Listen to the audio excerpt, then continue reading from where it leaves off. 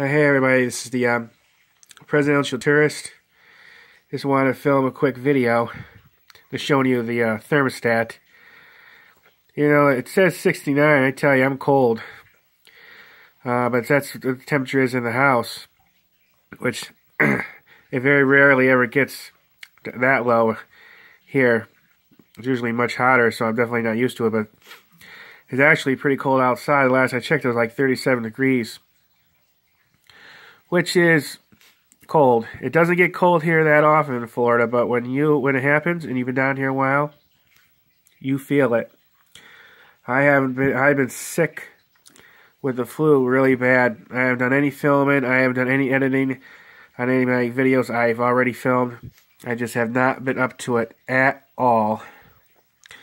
So I don't it's gonna be a while before I get a chance to do that.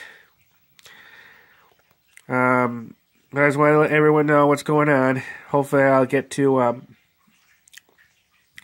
uh, back up to speed soon, uh, filming, because I have a whole bunch of stuff I want to do. And I actually have a ton of things to food review do on, and uh, other places I want to visit, just I'm just not up to it.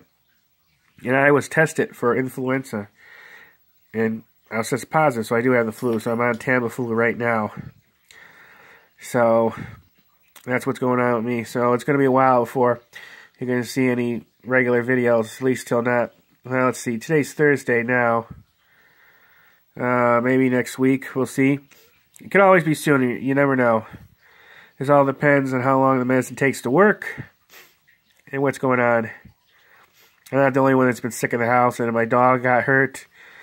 He was in a lot of pain, so we had to been dealing with that too. So it's been tough. But I just want let everyone know what's going on. I know some people are th thinking, what, 69, Michael? It's much more colder where I'm at. Which, yeah, I know, but I'm not used to um, colder temperatures, or cooler temperatures than this. So anyways, just wanted to, just wanted to um, let you know how, what's going on. Hopefully, hopefully I can uh, get back to the swing of things soon. All right thank you, everybody, and hope um, everyone uh, has a nice day. And if any of you sick, I hope you get better soon, too, and I know a whole bunch of people has this. It's uh, going around. All right. Thanks, everybody. Bye.